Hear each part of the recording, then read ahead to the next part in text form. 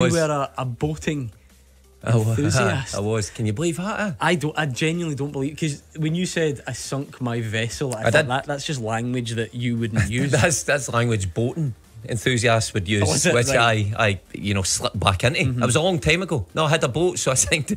Believe it or not, when I signed for Celtic, I bought myself as a treat a caravan in Loch Lomond and a speedboat. Whose idea was I- that? Well, it was mine. No, but I mean, uh, like you must have like. Oh, so I ran it by, Where, where, where does someone like you get a boat? I don't know how I get into conversation with Paul Telfer, all people. So I was vying for. By the way, this explains a lot. I was vying for the position of right back with Paul Telfer, and he suggested he knew someone that was selling a boat.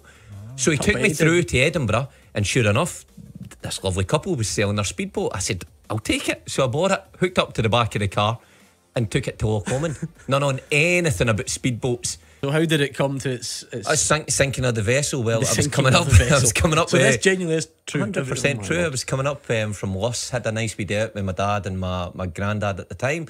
And uh, as I'm as I'm cruising up at cruising speed, I turn round and, and my granddad's getting lower and lower. I said, I said, Papa, you're going to need to come and sit up here.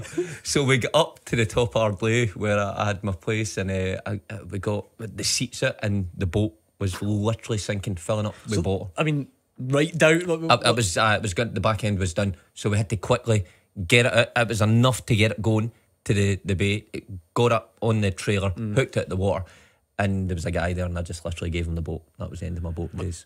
not I, sold I, it, I just- said, nah, just didn't sell. I just gave him it. There we are, fantastic. You think you know? I get that's two two nights in a row you've both done me. I didn't know Kenny Miller was a keen bowler. I did not you know you were a, a seaman.